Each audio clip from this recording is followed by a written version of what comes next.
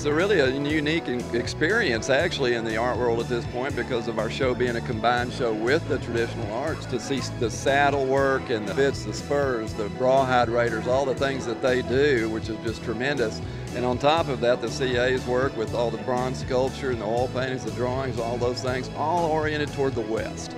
The American West is so important and such a dear thing to each one of our hearts.